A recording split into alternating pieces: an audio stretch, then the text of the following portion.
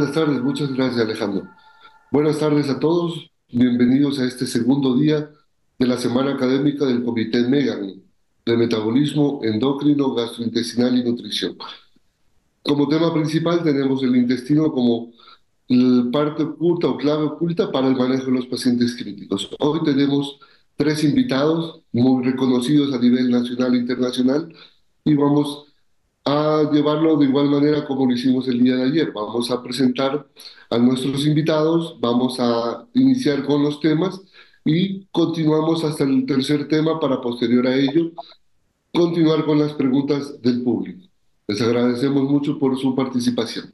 Vamos a iniciar con el primer tema del riesgo a la falla intestinal, entendiendo los conceptos.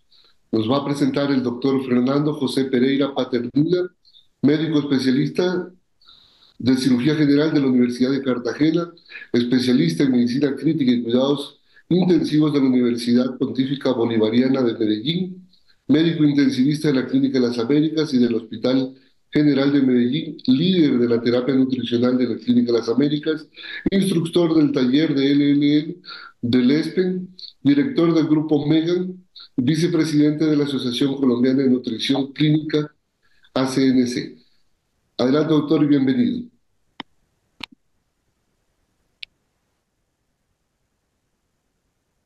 Santiago, muchas gracias por la introducción. A todos los asistentes, mil gracias por regalarnos un rato de su tarde en un tema que nos apasiona a todos, que es la nutrición del paciente crítico.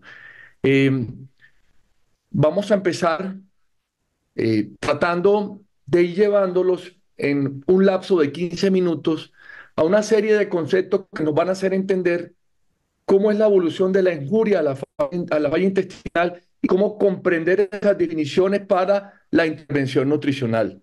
Mis conflictos de intereses, pero para la, para la presentación en particular, no los declaro, el contenido de mi absoluta responsabilidad, responsabilidad y no vamos a, a mencionar algún tipo de fórmula. Algo muy importante a destacar eh, es eh, eh, lo ligado que han estado el nacimiento de no solamente las unidades de cuidados intensivos, sino la terapia nutricional al concepto del paciente crítico. Como tal, tenemos referencia de la primera unidad de cuidados intensivos desde la ciudad de Copenhague, en Dinamarca. El 21 de diciembre de 1953 y recalcarles que fue el momento del nacimiento de una gran esperanza de vida. Primer aporte descrito de intervención nutricional. Fue un 24 de diciembre, una fecha muy significativa, muy significativa para el mundo católico, en donde este individuo, un, joven eh, en la cuarta década de la vida, recibe nutrición enteral por sonda gástrica con huevos crudos y leche. Se describe en 2.500 centímetros y de pronto, para recalcarles, eh, lo ocurrido, eh, el, sujeto, el paciente fallece a los dos días. Eh, estábamos ante el primer caso descrito de la epidemia de polio en los países de Escandinavia que dio lugar al nacimiento de eh, nuestra amada profesión en los servicios de cuidados intensivos. Pasó un tiempo, cerca de 15 años, y nace otro de los grandes hitos del cuidado y de la intervención metabólica en los pacientes críticos y fue la nutrición parenteral. Eh, colegas presentes, en 1968 se hace posible que gracias a una recesión intestinal masiva, un paciente pueda sobrevivir sin afectarse su crecimiento y su desarrollo. Los promotores fueron los profesores Douglas Wilmore y Stanley Dudrick. Fue un recién nacido a término, de bajo peso, con una carencia casi total del intestino delgado, que necesita una resección intestinal masiva, sale de cirugía con tres ostomías y tras ocho días de ilius, por primera vez se implementa una terapia nutricional parenteral.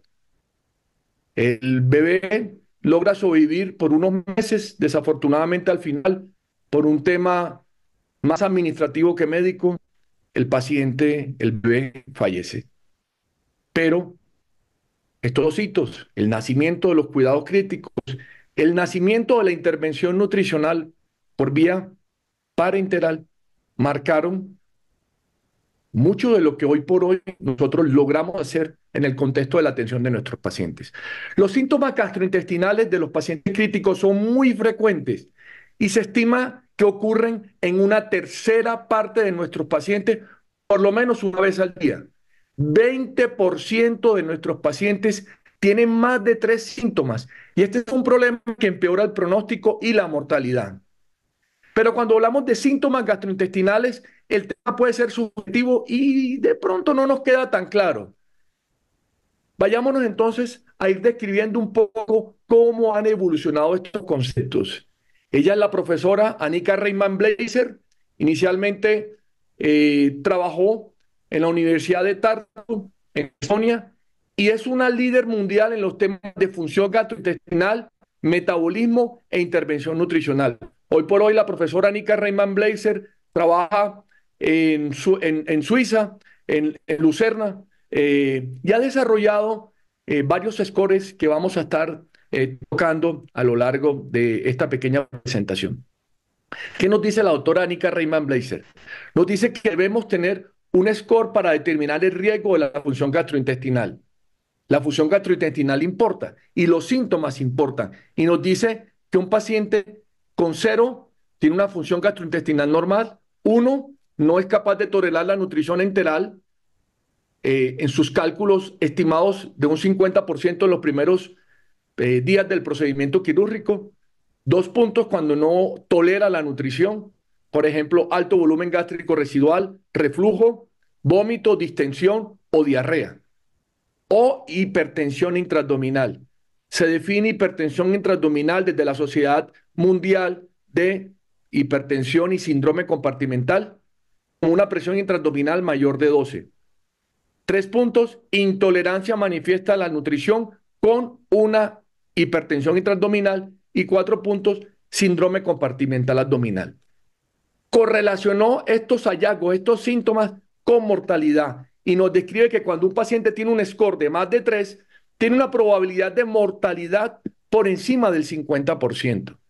Importante esto porque miren cómo en el contexto del empleo del score SOFA, comparado con el score de falla eh, de la función gastrointestinal, la falla de la función gastrointestinal está por encima del score de riesgo que el SOFA hepático, que el SOFA renal, que el SOFA del sistema nervioso central, que el SOFA hematológico que el SOFA respiratorio, correlacionándose con probabilidad de supervivencia y estimándose que un paciente con un score de falla en la función gastrointestinal por encima de 1 tiene dos veces más riesgo de mortalidad que aquel que no lo tiene. Los síntomas de la función gastrointestinal son importantes en temas de supervivencia. Esta es una publicación un poco más reciente, del 2019, también del grupo de la Universidad de Tartu en Estonia, en este caso el profesor Martin Padar, en donde describe cuatro síntomas gastrointestinales importantes a tener en cuenta en el paciente crítico. Ausencia de ruidos intestinales. Ya no los medimos, no los buscamos. Distensión abdominal bien sea confirmada por examen clínico o examen radiológico. Vómito, bien sea visible o por regurgitación.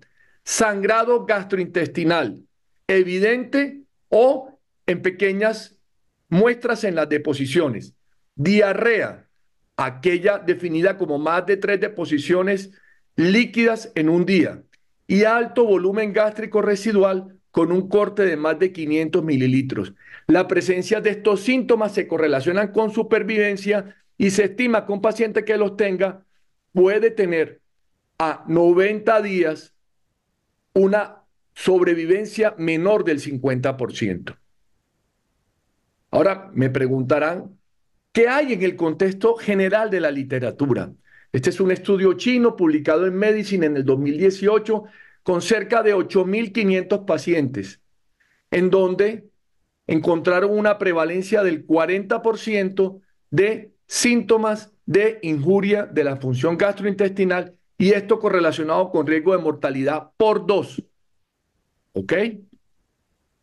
Ahora, importante también tener claro en el contexto de la presencia de síntomas en dónde se ubican estos para hablar de riesgo, disfunción, falla o falla más falla orgánica múltiple, en este caso falla intestinal más falla orgánica múltiple no intestinal. ¿Qué tenemos al respecto?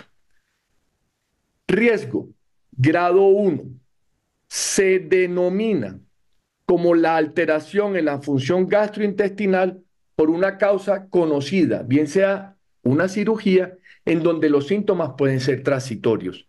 El clásico ejemplo de estos síntomas de riesgo son la náusea y el vómito, la ausencia de sonidos intestinal y la dismotilidad, la dismotilidad intestinal que puede recibir un paciente en la fase temprana del choque. ¿Qué se hace?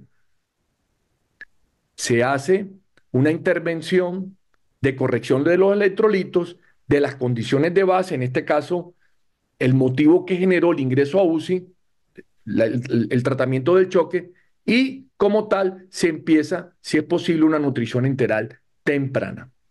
Grado 2, en esta escala de riesgos definidos desde la Sociedad Europea de Cuidado Crítico, la European Society of Intensive Care Medicine, en su grupo de trabajo de problemas abdominales liderado por la doctora Anika Reimann Blazer.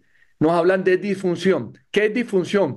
Un evento agudo en donde el paciente, incluso sin una cirugía previa, o pos una evolución tórpida en UCI, por ejemplo, un choque severo, con alto soporte vasopresor, el paciente presenta gastroparesia, aumento del volumen gástrico residual, parálisis gastrointestinal, no hay deposición, diarrea, hipertensión intraabdominal, PIA, o sea, presión intraabdominal entre 12 y 15 milímetros de mercurio e intolerancia a la nutrición enteral. ¿Cuál es el manejo? La condición de base, la hipertensión intraabdominal, proquinéticos y nutrición trófica. Sigue siendo importante la nutrición, en este caso enteral, para preservar la microbiota. Ahora, grado 3, falla manifiesta. ¿Qué debo hacer? ¿Y cuál es el caso? pacientes con una intolerancia a la nutrición enteral, en donde han persistido o empeorado las disfunciones presentes de nuestro paciente, SDRA, falla renal, choque cardiogénico. En este caso, el paciente no tolera la nutrición, el volumen gástrico residual sigue siendo alto, ha venido aumentándose la presión intraabdominal y manifiestamente no hay tolerancia de la nutrición con el agravamiento de la falla orgánica. ¿Qué debo hacer? Manejar causa de base, manejar la hipertensión intraabdominal y aquí, de la mano de lo poco que mi paciente pueda tolerar en nutrición enteral, sigue siendo importante la nutrición enteral trófica, ya aparece el concepto de la nutrición parenteral suplementaria. Importante encontrar causas como colecistitis acalculosa, peritonitis, isquemia intestinal de pronto no oclusiva en un paciente con alta dosis de soporte vasopresor, por ejemplo, más de 0.3 microgramos kilo minuto de norepinefrina. En este caso, discontinuar, descontinuar medicamentos que alteren la función gastrointestinal. Y, por último, tenemos el grado 4 del compromiso de la función gastrointestinal, en donde la falla intestinal y la falla orgánica multisistémica van de la mano. Hay un importante deterioro de la condición clínica, ya hay isquemia intestinal manifiesta, hay sangrado gastrointestinal y choque hemorrágico, síndrome de Ogilvy, síndrome compartimental, compresión intraabdominal mayor de 20 milímetros de mercurio. ¿Qué necesita mi paciente? Ya no más tratamiento conservador, hay que actuar, hay que hacer la parotomía, hay que hacer una colonoscopia, dejar un tubo rectal, pero ya no hay lugar a un tratamiento conservador. Ese era el enfoque clínico. Ahora, queremos un enfoque metabólico. Este enfoque metabólico es posible y desde la Sociedad Europea de Nutrición Enteral y Parenteral la propuesta es abordarlo desde el concepto de la falla intestinal y la insuficiencia intestinal. ¿Qué es falla intestinal? una disminución de la función intestinal en un punto mm, abajo del mínimo necesario para garantizar la absorción de macronutrientes y micronutrientes, para lo cual la suplementación endovenosa es imprescindible para mantener el estado de salud o el crecimiento, que se denomina insuficiencia, cuando el paciente no necesita la suplementación intravenosa, que puede ser el contexto de muchos de los pacientes que nosotros manejamos dentro de la unidad de cuidados intensivos. Tenemos varios tipos de falla intestinal en el concepto desde la Sociedad Europea de Nutrición Intestinal, en donde tenemos la falla intestinal tipo 1, tipo 2, tipo 3. Tipo 1 sería lo que correspondería al riesgo o injuria de la definición de la Sociedad Europea de Cuidado Crítico. Tipo 2, lo que sería la disfunción y la falla de la definición de la Sociedad Europea de Cuidado Crítico. Y ya aparece en el contexto de esta clasificación la falla intestinal tipo 3, que es la que ocurre en el paciente cuando hay ya una situación crónica que se da en meses o años. En este caso tenemos, por ejemplo, la presencia de, del síndrome de intestino corto. Entonces, cuando abordamos el síndrome de intestino corto, importante entender que las etiologías pueden cambiar. Tenemos complicaciones casi siempre quirúrgicas, en donde el paciente ha necesitado varias recesiones gastrointestinales. Incidencia cercana al 50%. También eventos isquémicos vasculares, por ejemplo, isquemia mesentérica, con unas incidencias que son cercanas al 30% y las neoplasias que pueden arrojar una frecuencia cercana al 20%. Pero no confundir términos es fundamental porque en el síndrome del intestino corto también hay una subclasificación que nos habla de síndrome de intestino corto tipo 1, tipo 2, tipo 3, acorde a la resección intestinal que el paciente ha necesitado. Si es el caso de un paciente que tiene una recesión intestinal masiva y hay una yeyunostomía final, estamos ante un síndrome intestino corto tipo 1 y ese paciente es muy probable que requiera más nutrición parenteral que nutrición enteral. Si estamos ante un síndrome intestino tipo, tipo 2, en donde hay una recesión yeyuno eh, colónica y hay una anastomosis y ayuno colónica, es posible que mi paciente pueda tolerar iniciarse la vía oral y la nutrición eh, enteral. Y si hay un síndrome de intestino corto tipo 3, en donde hay una resección yeyuno ileal y no anastomosis, yeyuno colónica, es bastante probable que mi paciente tolere la nutrición sin ningún tipo de problema.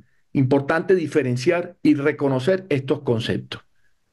Ahora, lo común en UCI no es esto quirúrgico, lo común en UCI son las fallas intestinales tipo 2, la injuria, la disfunción y casi no el contexto de tener que llegar a la presentación de falla. Y aquí se hace importante el reconocimiento de las causas más frecuentes en cuidados intensivos no convencionales como son náusea, vómito y postquirúrgico.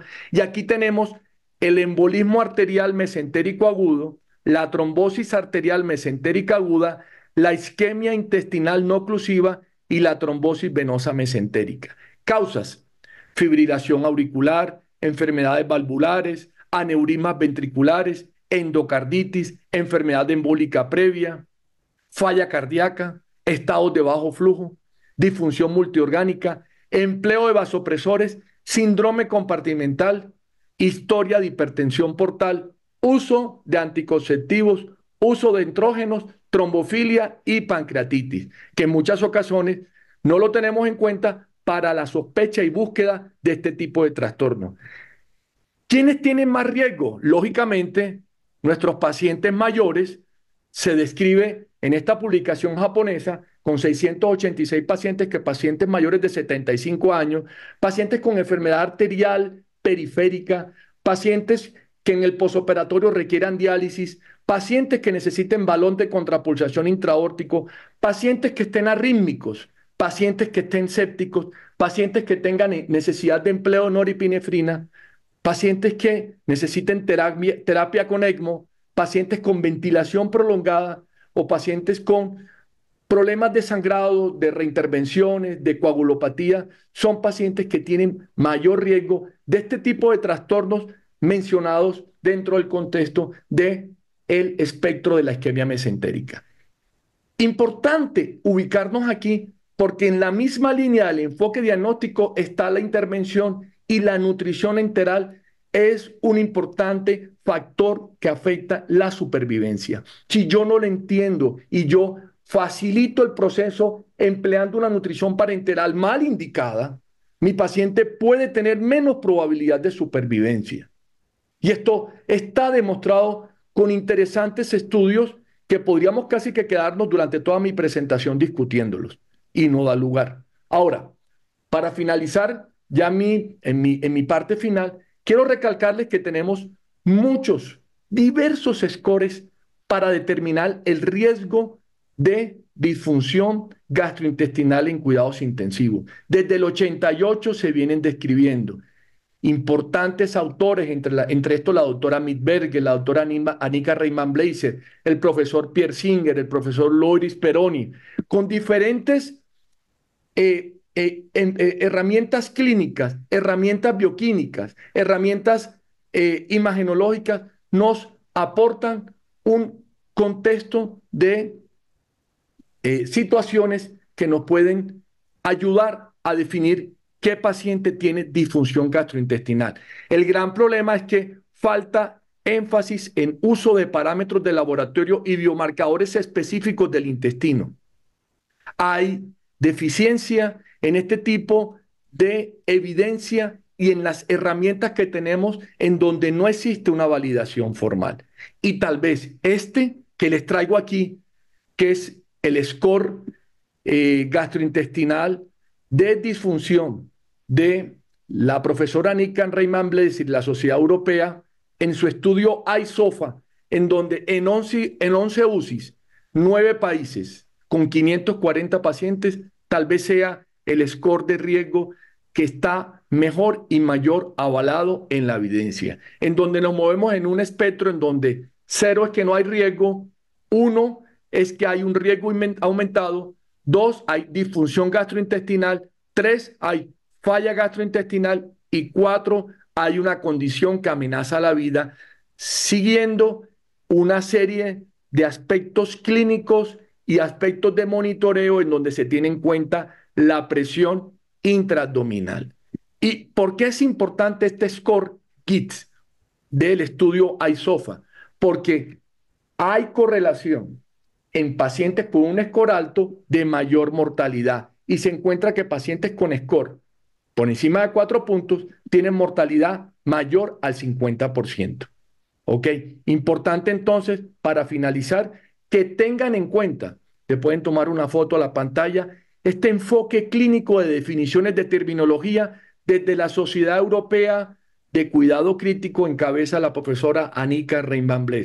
Importante que ustedes sepan en dónde se encuentra su paciente y así hagan la intervención para poder ir a un flujograma de atención en donde si ustedes tienen en cuenta la presencia de choque, la presencia de contraindicaciones de la nutrición enteral, la presencia de síntomas gastrointestinales y haciendo una vigilancia diaria de los síntomas gastrointestinales, ustedes van a determinar si el paciente no tiene riesgo, tiene riesgo y puede recibir nutrición enteral, tiene disfunción y se le puede dar nutrición enteral con prokinéticos o tiene falla y el paciente ya hay que buscar una causa manifiesta de la afección gastrointestinal y tal vez requiera nutrición enteral trófica más nutrición parenteral suplementaria o definitivamente tenga una falla intestinal más falla orgánica multisistémica en donde ya no se puede continuar con un manejo pasivo y el paciente necesite la intervención. Mis mensajes finales, el intestino es actor principal en la atención de los pacientes críticos, la presencia de alteraciones en las funciones intestinales afecta los resultados de atención en cuidado crítico tengan en cuenta scores de riesgo porque se correlacionan con mortalidad. Debemos buscar y monitorear activamente la presencia de compromiso gastrointestinal en nuestros pacientes críticos. Por favor, individualizar cada caso. La falla intestinal no es igual a nutrición parenteral. Ayer tuvimos unas presentaciones maravillosas en donde nos recalcaron el papel de la microbiota intestinal de la mano de una intervención nutricional trófica, ascendente, progresiva. La mejor opción es esta Y luego tenemos la nutrición enteral trófica más la nutrición parenteral suplementaria y no al revés. Profesor Santiago, muchas gracias. A todos los presentes, muchas gracias y los dejo en cabeza a nuestro moderador. Muchísimas gracias, doctor Fernando Pereira. Excelente presentación, como siempre. Bueno, continuando con nuestro segundo día de la semana Megan, vamos a presentar el siguiente tema de alteración de la función gastrointestinal y su relación con la malnutrición en cuidados clínicos. Para esta presentación tenemos a la profesora, la nutricionista y dietista magíster Claudia Ardila Meléndez. Es nutricionista y dietista de la Universidad de Santander, magíster en nutrición clínica, instructora del taller LLL del ESPE y nutricionista de UCI Viva Salud Florida Blanca de Santander. Bienvenida, doctora Claudia. Adelante, por favor. Hola, muy buenas tardes. Eh, Muchísimas gracias por la por la invitación. ¿Sí se ve? Sí, ya la vemos, doctora. Bueno. Ok, vamos a empezar a hablar. Ya eh, trata, el doctor Pereira ya trató algunos temas. Eh, sin embargo, pues vamos a revisar eh, precisamente porque es importante esta función intestinal para la nutrición de nuestro paciente. Eh, precisamente, y pues hay que mm, tener en cuenta que nuestro intestino eh, tiene diferentes funciones. Una de esas es precisamente las tres fases que se presentan de la digestión y de la absorción, es la mezcla de las diferentes secreciones biliares y pancreáticas eh, para hidrolizar lo que son los nutrientes. El déficit de estas secreciones, pues que eh, lógicamente pueden presentarse por diferentes disfunciones, eh, ya sea pancreáticas o u otro tipo de alteraciones, puede generarnos una mala absorción y por tanto una diarrea. Precisamente pues porque no se toman los nutrientes necesarios y pasan, llamémoslo que, de largo. Eh, otra fase que es muy importante para tener en cuenta es la fase de mucosa, donde se realiza la hidrólisis de los macronutrientes y estos son precisamente captados por los enterocitos y precisamente después se preparan para su posterior transporte hacia el corriente sanguíneo. Ahí es donde pues eh, el paciente donde toma eh, los nutrientes necesarios para sus diferentes funciones. la lesión de la mucosa pues eh, técnicamente nos puede condicionar algunos trastornos nutricionales. Y la fase de transporte, eh, donde precisamente se incorporan los nutrientes a la circulación, eh, si hay una insuficiencia vascular, una obstrucción sanguínea o linfática, pues lógicamente los nutrientes no van a llegar a las diferentes células desde el intestino hacia el resto de órganos y pues obviamente nos va a generar deficiencia. ¿Cuáles son los mecanismos involucrados? Pues eh, vemos que a nivel digestivo hay diferentes eh, mecanismos. Nos vamos a basar precisamente ya en eh, intestinales, como son los mecánicos, que es la peristalsis, y a nivel de el mecanismo químico, que es ya la mezcla que se hace con las sales biliares, diferentes jugos pancreáticos y pues enzimáticos, ¿para qué? Pues precisamente para que se absorba, se digieran los nutrientes y pues eh, pasen al corriente sanguíneo. Esto está condicionado ¿por qué? por la longitud eh, del intestino. Eh, ya el doctor Pereira nos habló del intestino corto, sin embargo, pues en esta parte no vamos a hablar de ninguna de estas disfunciones.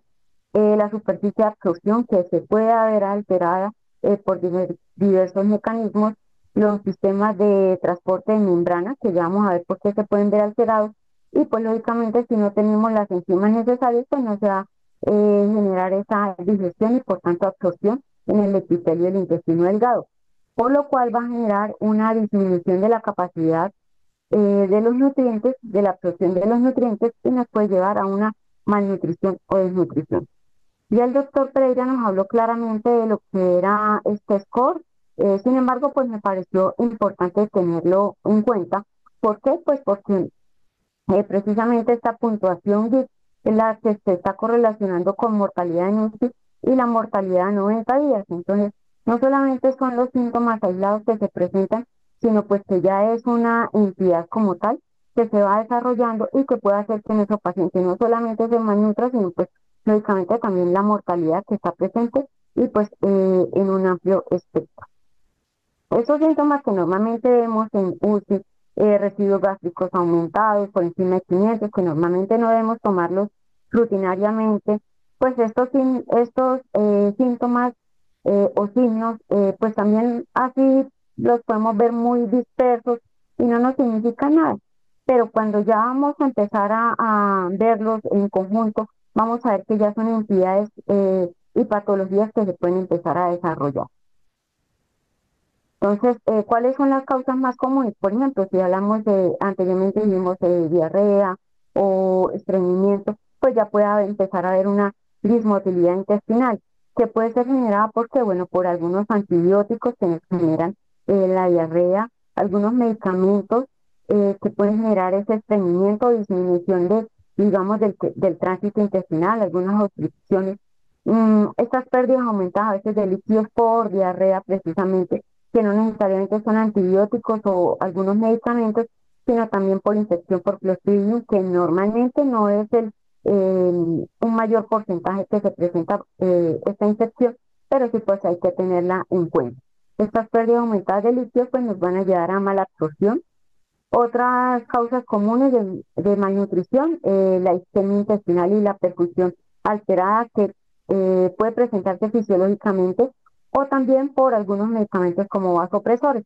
Esta isquemia pues nos puede llevar a un sobrecrecimiento bacteriano y a la translocación tan temida que, que tenemos y pues generar aún más un cuadro séptico, que eso ya lo vimos el día de ayer cuando estaban relacionando el eje intestino, intestino eh, pulmón y bueno, con otros ejes.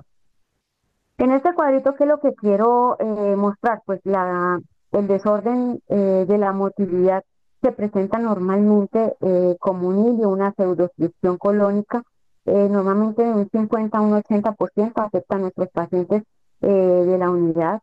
También se presenta la diarrea y pues no solamente es el paciente que tiene esas deposiciones aumentadas, sino pues también se ven alterados los transportadores por diferentes cambios en los iones, sodio, potasio, cloro, y pues lógicamente vemos que las diferentes bombas eh, transportadoras pues se pueden ver afectadas y por tanto pues no toman eh, los nutrientes necesarios o los eh, micronutrientes necesarios tampoco. Por tanto pues se empieza a presentar esa malnutrición.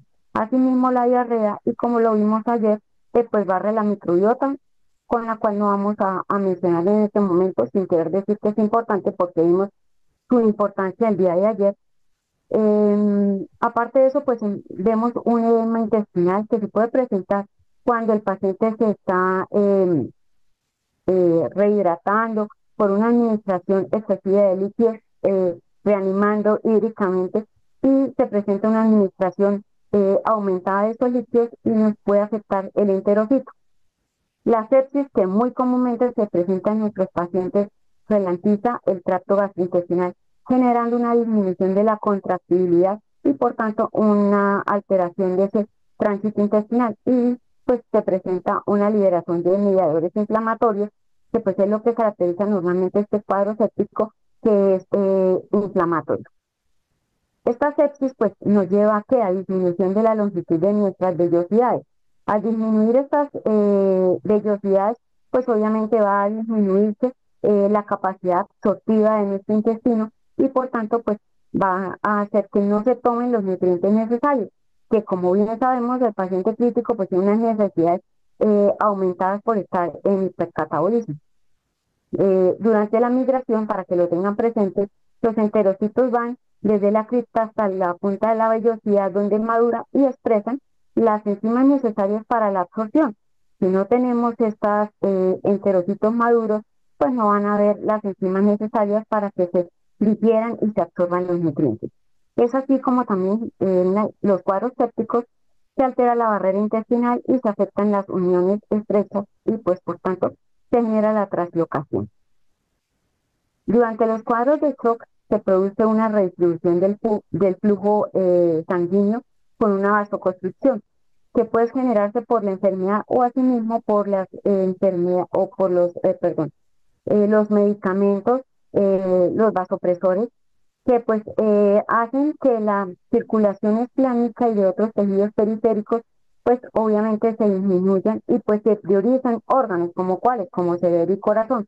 Esto genera la hipoperfusión y por tanto el intestino es el que viene a afectarse y en este caso eh, lo que estamos viendo es que se presenta una isquemia intestinal. ¿Por qué? Pues aumenta la apoptosis o la muerte celular de, estos enterocitos, se disminuye la proliferación de las células del intestino delgado y pues lógicamente se empieza a disminuir esta mucosa intestinal y por tanto la absorción de nuestros nutrientes. ¿Qué nos va a generar al final? pues una intolerancia que es lo que normalmente eh, observamos, una intolerancia a la nutrición y la malnutrición. Esto genera un aumento de la permeabilidad de esta isquemia intestinal, aumento de la permeabilidad intestinal y pues que pasa la translocación eh, bacteriana que nos va a ayudar a los cuadros sépticos eh, que conocen. Bueno, y hablamos todo de transporte, de absorción. Y pues bueno, en algún momento los, cuadros, los papers nos mostraron que se afecta la eh, absorción de algunos nutrientes.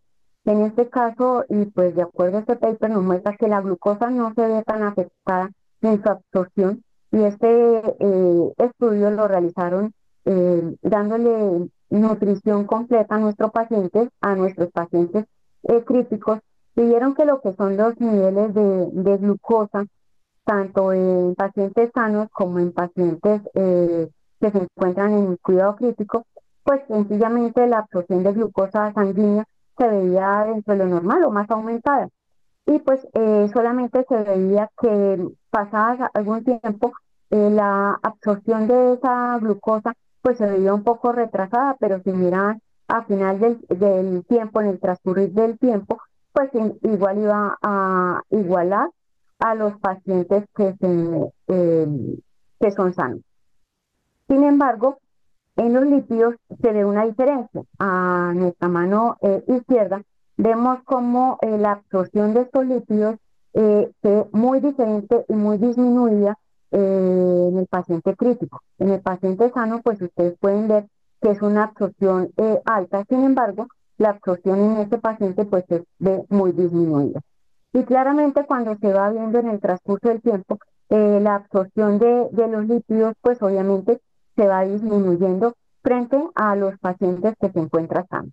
Conclusión, pues nuestros pacientes posiblemente por eh, la disminución en los transportes, las enzimas o la misma digestión eh, que se hace intraluminalmente, pues se va a ver disminuida este, em, estos eh, macronutrientes tan importantes. Es importante también, y de acuerdo a todo eso que estamos diciendo y que también nos lo comentó el doctor Pereira, el monitoreo de la función. No voy a entrar en detalles, pero sí pues hay unos biomarcadores de la eh, integridad de los, de los enterocitos que están medidos precisamente por ser em, unos marcadores que produce cada una de estas células intestinales.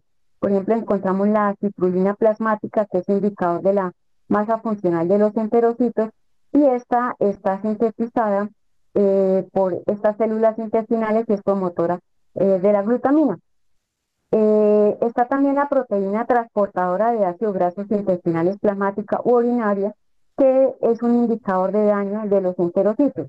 Esta eh, proteína eh, ayuda al transporte intracelular de los ácidos grasos durante la absorción de los lípidos. Normalmente no es detectable en sangre, pero pues normalmente se viene aumentando cuando hay cuadros sépticos y por tanto nos muestra un marcador de, em, de necrosis intestinal.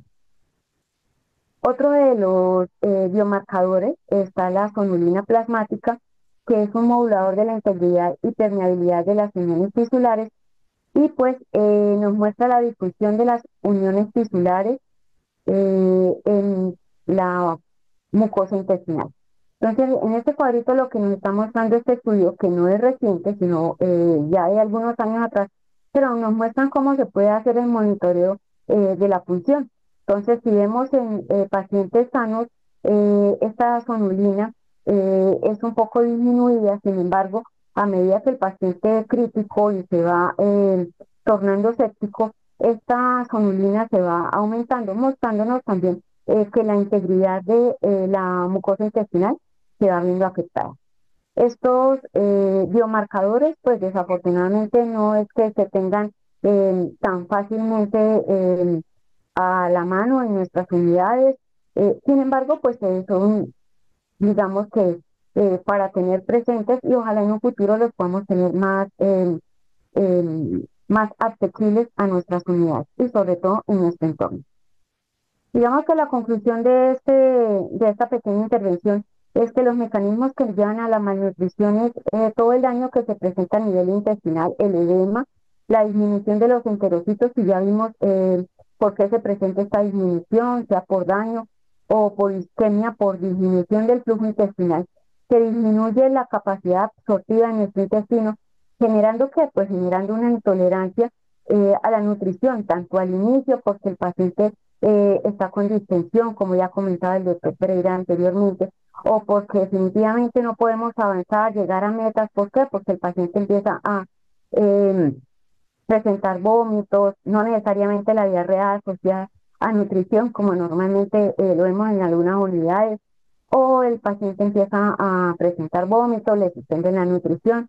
Entonces, eh, ahí es donde como nutricionistas o como eh, profesionales de nutrición y cuidado crítico nos debemos preocupar. ¿Por qué? Porque nuestro paciente no se nos malnutra y desnutra precisamente pues por todos estos mecanismos que se están dando a conocer. Todos los conocemos, todos los vemos, eh, precisamente en, cuidado crítico, pero es para no pasarlos inadvertidos y precisamente buscar otras alternativas. Siempre la idea es eh, tener eh, e iniciar la nutrición enteral trófica, porque precisamente sabemos que la nutrición enteral es uno de los precisamente moduladores y evitan que se presente esta translocación bacteriana y pues obviamente muchos de los mecanismos ya mencionados anteriormente la bibliografía eh, que se las presento y eh, muchísimas gracias.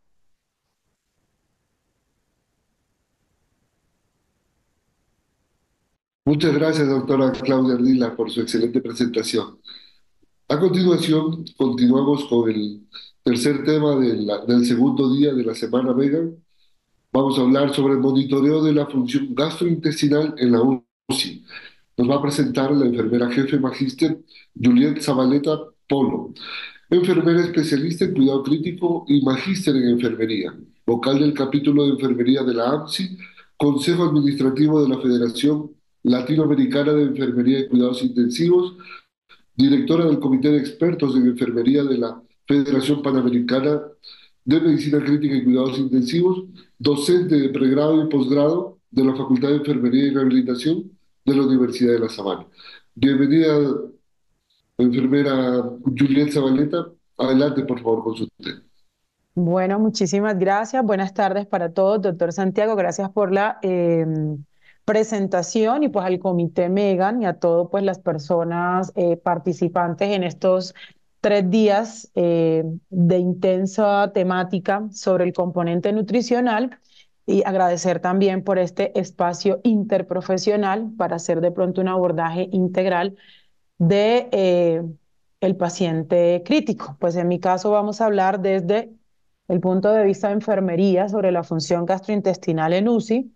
Eh, no declaro conflicto de interés alguno y pues la idea es eh, contar un poquito de mi participación voluntaria acerca de de pronto los profesionales que tenemos un poquitico más de eh, volumen en número y cantidad en los servicios clínicos. Voy a poner el cronómetro porque si no me paso.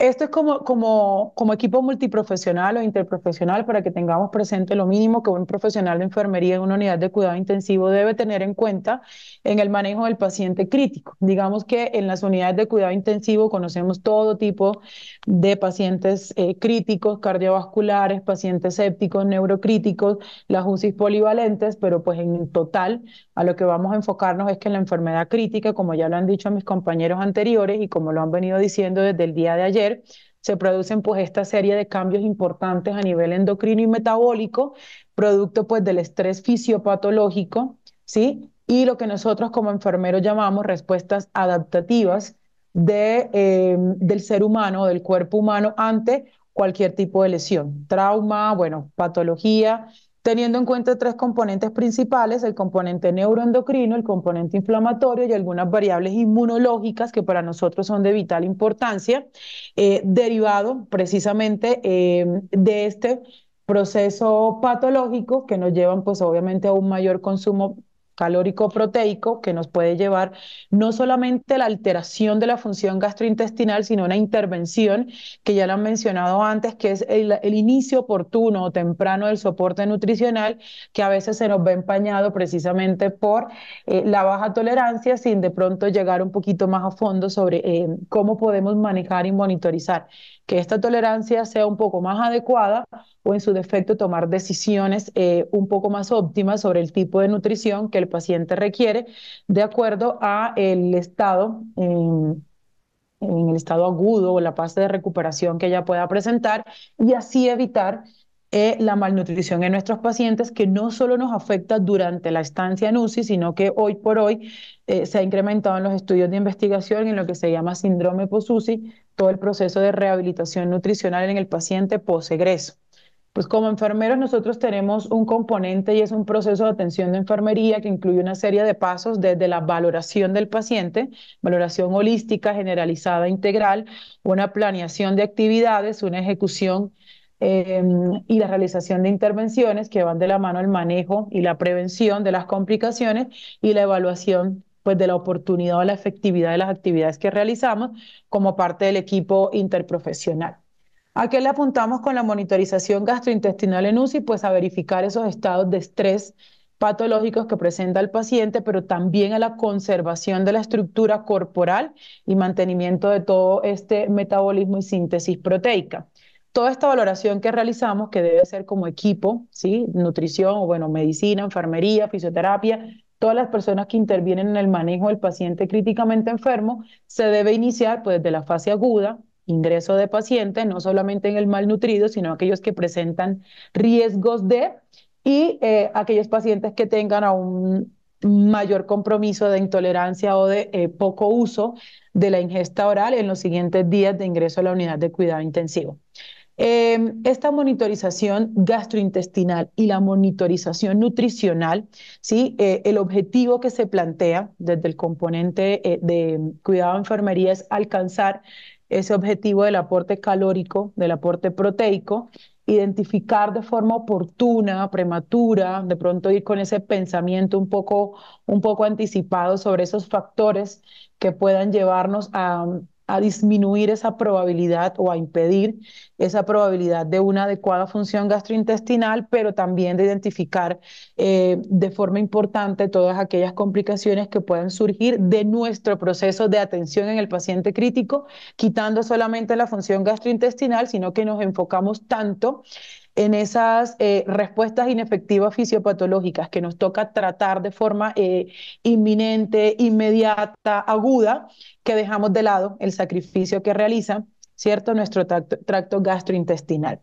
Entonces, lo primero que como enfermeros o profesionales de enfermería esperamos realizar, esperamos que, el equipo eh, interdisciplinario vea en nuestro ejercicio clínico, es la valoración de la alteración de la motilidad por los cambios hormonales eh, qué tanta perfusión o isquemia intestinal o alteración de esa permeabilidad tenemos dentro de este paciente críticamente enfermo, la ruptura de la barrera intestinal, la prevención u objetivización de esa traslocación bacteriana y los cambios, como dijeron ayer, tan importantes que se, eh, se producen en la microbiota intestinal. Entonces, lo más importante es, dentro de nuestra valoración, es eh, identificar en qué momento se encuentra el paciente de su eh, fase de shock o fase aguda, teniendo presente pues que en la fase inicial o en esa fase de hipometabolismo, ¿sí? Eh, tenemos una serie de elementos que nosotros identificamos dentro de la parte de la monitorización hemodinámica, dentro de la parte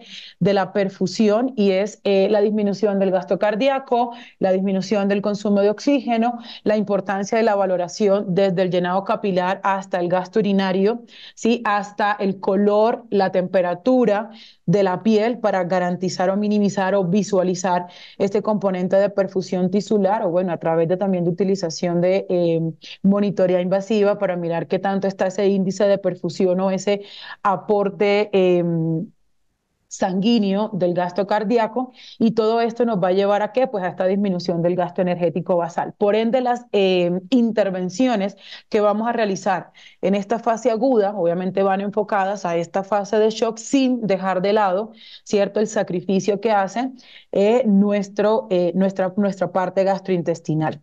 ¿A qué le apuntamos siempre acá? A la resucitación con cristaloides, a la estabilización hemodinámica, a la restauración del transporte de oxígeno, pero ¿qué pasa con el soporte nutricional? Tal vez en este momento, eh, en estas primeras horas, y por eso las guías nos hablan eh, del inicio temprano, sin embargo, en esta fase aguda, no es nuestra priorización esta parte gastrointestinal, pero sí tener en cuenta el impacto que genera en la, en la estabilización hemodinámica, el uso de medicamentos como las catecolaminas exógenas, ¿sí? Y la cantidad de líquido o la eh, resucitación con fluidos, eh, de qué tanto nos pueden afectar todo este tema metabólico, hormonal y de eh, respuesta inflamatoria. Luego, ¿qué hacemos en la siguiente valoración? Pues en esta fase un poco aguda, ya tardía, ¿sí? Donde tenemos ya esta fase catabólica con este aumento de respuesta inflamatoria, con este aumento de estrés eh, metabólico, con este eh, componente de sacrificio de perfusión renal, ¿sí? Con este aumento de consumo de oxígeno, verificar cómo está ese gasto energético basal para nosotros también tomar decisiones con respecto a algunos cuidados importantes desde los cambios de posición. A veces no le prestamos atención, pero los cambios de posición eh, modo aparte, ya no está, ya no está descrito, la literatura ya empieza a abolir los cambios de posición cada dos horas.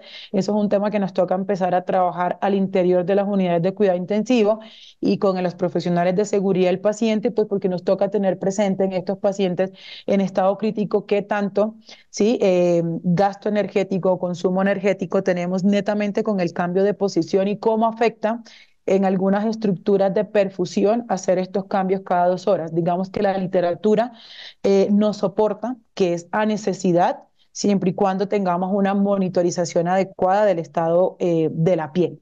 Acá, pues, eh, de pronto enfocarnos también en la parte anabólica y un poco de parte de recuperación y empezar a hablar un poquito aquí del soporte nutricional y de la tolerancia o el proceso de rehabilitación integral que recibe nuestro paciente al interior de las unidades de cuidado intensivo. Como profesionales de enfermería, ¿qué debemos entonces? Conocer el estado gastrointestinal haciendo la valoración funcional y anatómica. Sabemos bien que todo este tema de medidas antropométricas se los dejamos a las nutricionistas, pero sí es importante para nosotros tener presente pues peso, talla, índice de masa corporal, los pliegues, las circunferencias para poder entregar esta valoración funcional y estructural de nuestro paciente inicial. Eh, tener presente los parámetros físicos, clínicos y bioquímicos que permitan determinar la función de mi tracto gastrointestinal, dentro de los cuales voy a destacar si el paciente presenta disfagia, qué grado y en qué tipo, cómo se encuentra la motilidad digestiva, entonces pues auscultación intestinal y toda la valoración de este tránsito intestinal y qué tanta longitud y superficie absortiva tenemos de la parte del intestino para saber todo el efecto que está generando toda esta carga de medicamentos, toda esta carga de resucitación y de reanimación en el paciente y qué nos está quedando a nivel metabólico. Como parámetros clínicos, para nosotros, pues la diuresis es importante, el gasto urinario es índice de perfusión vital Sí, tener en cuenta pues la presión arterial, pero básicamente si es por temas de perfusión nos enfocamos hacia la media, tener presente la forma, la técnica y la medida adecuada de la presión intraabdominal en caso de que sea necesario, el llenado capilar que nunca puede faltar y estamos haciendo mayor énfasis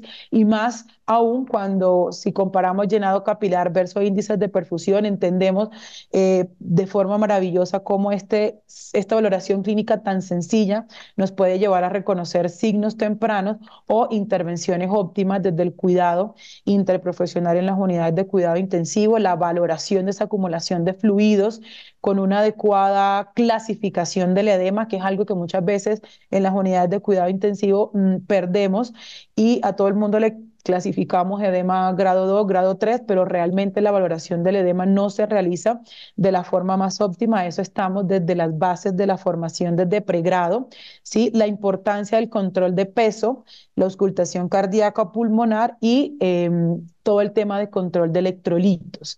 Eh, hoy por hoy hablamos del componente de disglicemias y de hecho hace poquito tuvimos una jornada de enfermería solo hablando de disglicemias en el paciente y lo difícil que hoy en día es manejar esta variabilidad glucémica de este paciente en estado agudo, en estado de fase de recuperación, pero que muchas veces no es tan difícil de retornar a la normalidad y que requiere de pronto una monitorización un poco más óptima y unos cuidados un poco más específicos dentro de la administración o control diario, ¿sí? sea de la parte de medicamentos, sea de la parte del soporte nutricional y también pues de la parte del control, de cómo se, cómo se toma una mínima glucometría.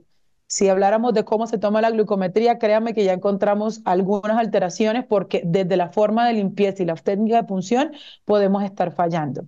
La valoración de la hipertensión intraabdominal e intracraneal, el, ya lo decía mi compañera anterior, el tema de la ventilación mecánica en tiempos prolongados, el uso de opioides, aquí hablaba ella del tema de la eh, absorción de lípidos, tener un poquito de cuidado cuando utilizamos tal vez infusión de medicamentos eh, que tengan lípidos versus nutrición parenteral en caso de que utilicemos nutrición parenteral con lípidos para evitar de pronto un poquito el síndrome de Propofol, que si bien no es muy conocido, tampoco hay que dejarlo descuidado. Tratar de hacer eh, la mínima o la valoración y seguimiento de la manipulación eh, intestinal intraoperatoria, verificación de hemorragias y pues el uso de catecolaminas intravenosas, que como ya lo dijeron en la parte anterior, todo lo que compone, todo lo que desencadena a nivel de perfusión, ya que sacrificamos esta parte importante para un componente de eh, estabilidad hemodinámica. Los controles bioquímicos para detectar pues alteraciones iónicas y prevenir el síndrome de realimentación, que muchas veces también los vemos en las unidades de cuidado intensivo, pero que realmente conocemos y manejamos muy poco, por lo menos desde el punto de vista de enfermería. Creo que no es algo a lo que le apuntemos siempre dentro de nuestra valoración y monitorización o seguimiento de la función gastrointestinal. Controles de función renal, hepática y cardíaca, pues no solamente la forma de la toma, sino el análisis y la intervención que realizamos de forma directa. En cuanto a la valoración clínica, pues tener presente cuáles son aquellos factores que me pueden afectar la función gastrointestinal, entonces tener presente de entrada aquellos pacientes que puedan requerir ventilación mecánica durante eh, siete días o más, la necesidad de este incremento de soporte ventilatorio o pacientes que presenten falla en el destete ventilatorio, la necesidad de uso de relajantes musculares debe quedar claro dentro de la valoración clínica inicial.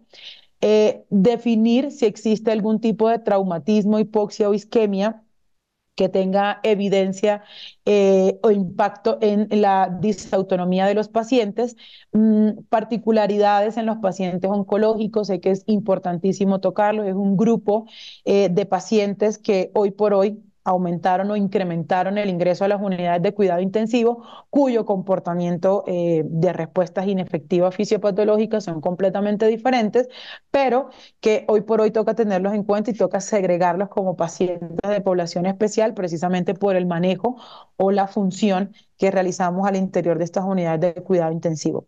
Determinar si mi paciente está en desnutrición, sobrepeso u obesidad para tomar decisiones desde el control de la piel ¿sí? Hasta eh, uso de dispositivos o sistemas de monitorización y tener presente entonces en qué momento estamos nuevamente, hipermetabolismo o fase de hipometabolismo desencadenado no solamente por el factor fisiopatológico, sino por las intervenciones que desde nosotros como profesionales de la salud realizamos para la eh, resucitación de los pacientes o la reanimación de los pacientes en estado crítico.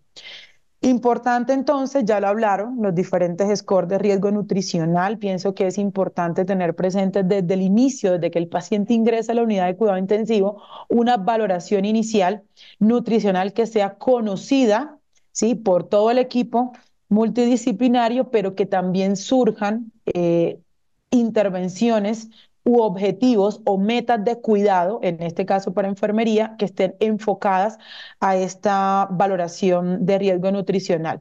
Esto es un tema que no va a acabar, que hoy pues hemos ganado terreno nuevamente en el tema de grupos de soporte nutricional, pero creo que va a ser una una pelea casada entre los grupos de soporte y el personal de UCI, porque para nosotros sigue siendo un poquito más importante el tema hemodinámico y dejamos muy de lado el tema nutricional y en estos scores de riesgo y en estas valoraciones como enfermería normalmente no tomamos decisiones ni hacemos metas para optimización y metas de cuidado que queden completamente eh, claras y con objetivos de atención ¿sí? Guiados a unas actividades que realmente me impacten no solamente a la, al manejo del paciente malnutrido, sino a la prevención desencadenada por su enfermedad o por las intervenciones que estamos realizando.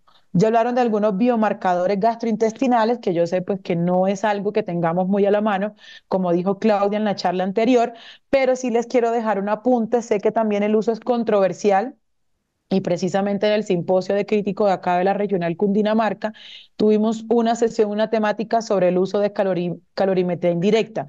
Mm, sé que tiene algunas limitaciones, algunas dificultades, algunos componentes que a veces no nos llaman la atención, pues implica también un tema de costo y utilización de pronto de especificaciones de módulos eh, en los equipos de ventilación mecánica o los monitores de signos vitales, pero pues no dejar de lado que puede existir y podríamos empezar a utilizarlo en los pacientes que se pueda, el dato de calorimetría indirecta. Es más, eh, podríamos utilizarla tanto para el consumo, ¿cierto? Eh, metabólico cuando cambio de posición al paciente. Es maravilloso, inclusive para hacer este tema de cambio de posición.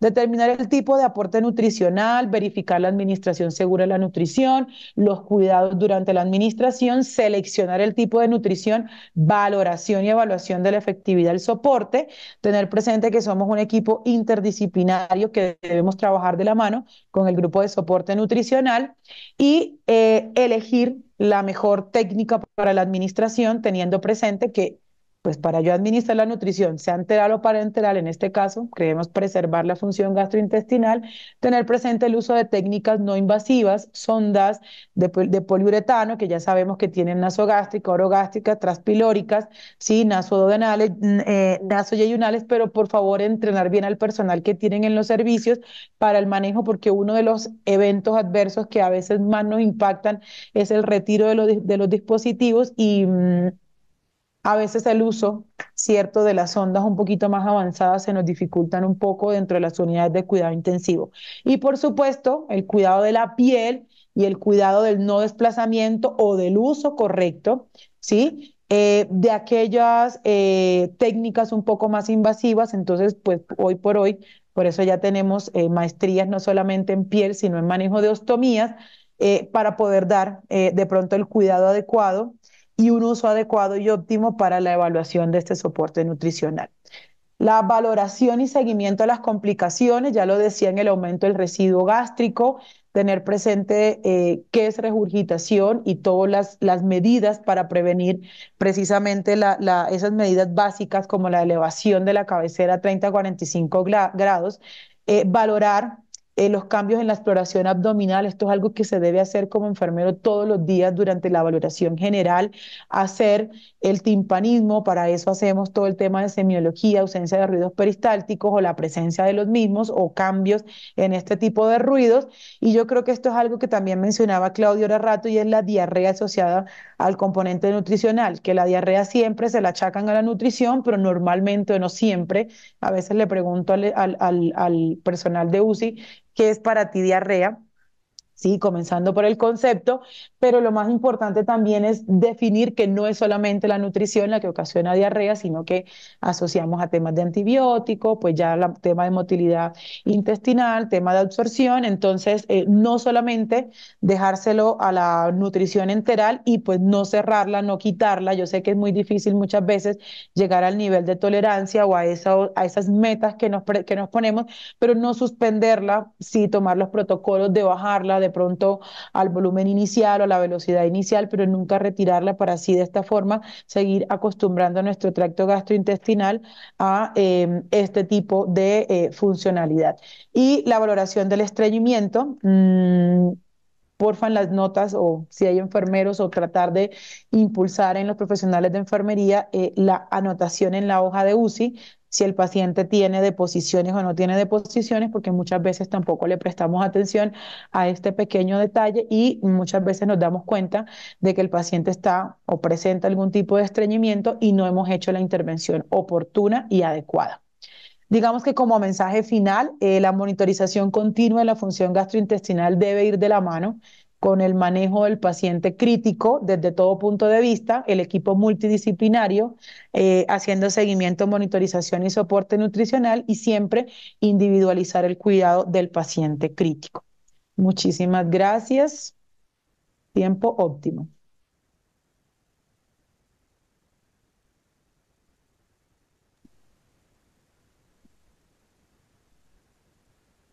Muchísimas gracias, profesora Juliet. Excelente presentación.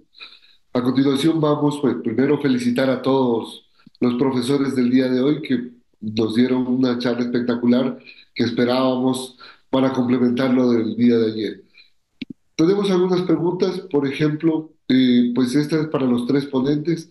¿De qué manera la dismotilidad intestinal y la alteración de la barrera de la mucosa contribuyen al desarrollo de la malnutrición en pacientes críticos? ¿Y qué estrategias nutricionales pueden implementarse para mitigar este riesgo?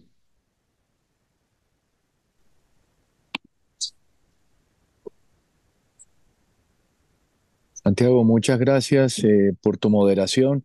La pregunta es muy importante porque definitivamente eh, sí impacta en la malnutrición las alteraciones en la motilidad intestinal, pero si de pronto me piden eh, que les dé una recomendación, la más adecuada puede ser para todos los asistentes, evitar ser facilistas con la implementación de una estrategia de nutrición donde no se tenga en cuenta al tubo gastrointestinal.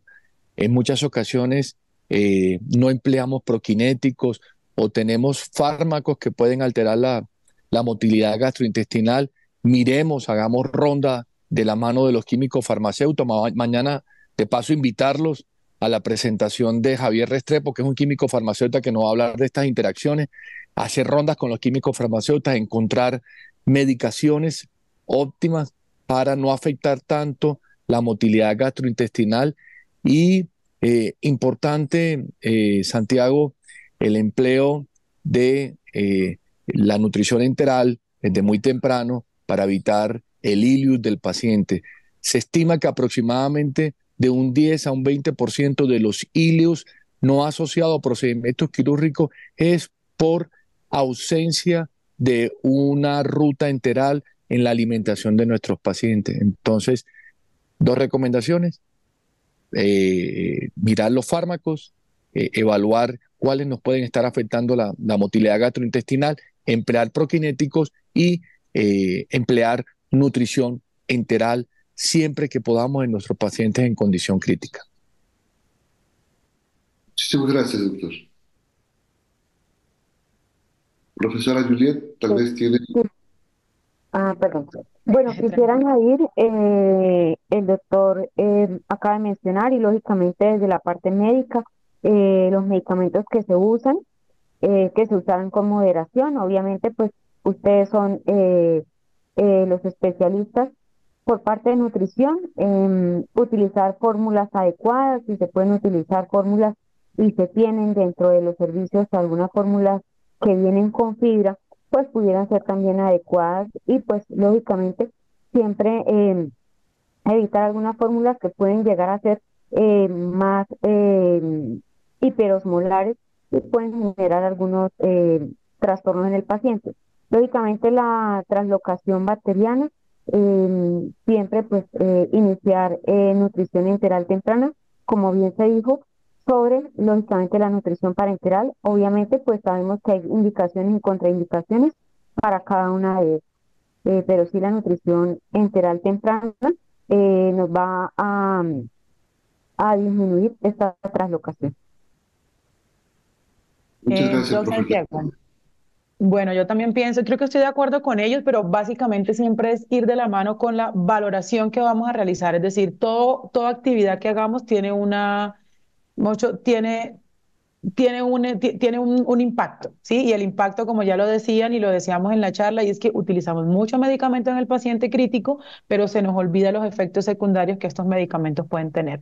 El hecho de la ventilación mecánica, el hecho, entonces, toda la cascada inflamatoria. Yo pienso que es ir de la mano con eh, ir valorando las respuestas también secundarias de nuestras intervenciones al paciente crítico agudo, sin dejar de lado eh, eh, el cuidado hacia lo que podría llegar a afectarse, evitando complicaciones, conocer los tipos de fórmula que hay en la institución, conocer los diferentes cuidados o manejos de las diferentes maneras de administración, pero pues siempre propender por la nutrición enteral primero.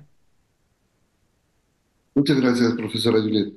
Bueno, eh, tenemos unos minutitos, vamos a hacer una segunda pregunta. ¿Cuáles son los principales factores predictivos que marcan la transición de la disfunción a la falla intestinal en los pacientes críticos? ¿Y cómo puede la intervención temprana modificar estos resultados clínicos? Gracias, Santiago. La pregunta es bastante, bastante interesante. Y sí, eh, eh, existen factores. Por ejemplo, atando a la pregunta inicial, el sobreuso de sedación a veces sin una razón justificada. Abusamos del empleo de opioides en los pacientes críticos. Sobresedamos a nuestros pacientes. En muchas ocasiones, eh, nuestros pacientes tienen vasoactivos en dosis moderada y por miedo a la isquemia intestinal no oclusiva no empleamos adecuadamente la nutrición enteral. Una invitación a encontrar la mejor evidencia disponible para el empleo de eh, vasopresor y nutrición que pueden ir de la mano sin ningún tipo de dificultad. La posición prona no contraindica la nutrición enteral. La presencia de ECMO no contraindica la nutrición enteral. La presencia de inotrópicos no contraindica la nutrición enteral. Una cirugía reciente con anastomosis gastrointestinal no contraindica la nutrición enteral y son factores que nos pueden llevar a mi paciente que tiene una injuria o tiene solamente un riesgo de disfunción gastrointestinal a disfunción y falla gastrointestinal. Eh, ahora lo otro, importante reconocer las definiciones y enfocarnos acorde a la definición a eh, una estrategia de intervención óptima para poder garantizar eh, que mi paciente tenga los mejores resultados posibles de esa afección en la función gastrointestinal. Excelente, doctor. Muchísimas gracias.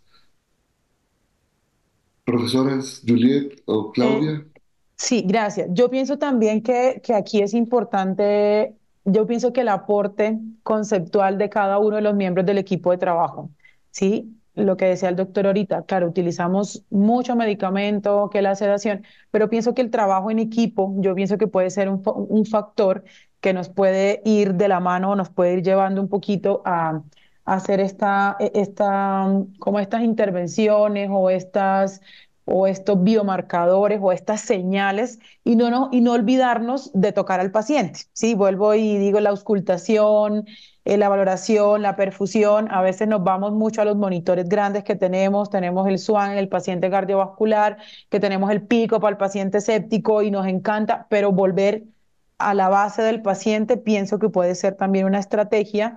Eh, y bueno, nada, lo que decía el doc de pronto es... Eh, el tema de la sedación, ahí las guías están, están interesantes y, pienso que podemos ir adaptándonos a los cambios que hoy por hoy nos está dando la población actual, que pues ya va siendo cada vez más diferente a, a lo que veníamos manejando desde antes. Muchas gracias, profe Juliet. Profesora Claudia.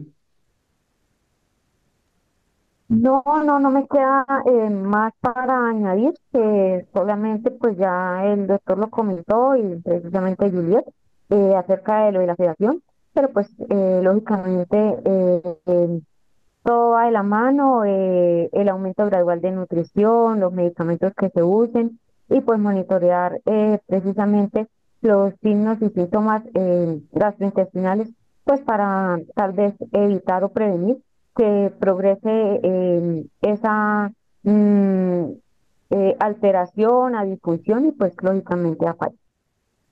Excelente. Creo que yo añadiría, dentro de los factores que comentaba el doctor Pereira, el, la sobrecarga hídrica también es uno de los factores que, que incrementa el, el, daño en el paciente y que muchas veces no lo tomamos en cuenta. Hacemos una reanimación exhaustiva al ingreso, posteriormente le colgamos líquidos hasta que el paciente sale de muchas veces de la UCI. Entonces creo que ahora con los protocolos se ha logrado disminuir esos balances que anteriormente se veían muy altos, sobre 2, 3, hasta 10 litros de positivo. Bueno, muchísimas gracias a los ponentes, muchísimas gracias a los participantes. Los esperamos el día de mañana en el foro, donde podamos a poder con, expertos eh, salvar esas dudas pequeñas que quedaron en los, del día de ayer, el día de hoy. Pero creo que fueron muy pocas, ya que fueron excelentes presentaciones. Muchas gracias y los esperamos mañana. Feliz tarde, hasta luego. Gracias a todos. Hasta, luego, que estén muy bien. Un placer. Hasta luego. Hasta luego.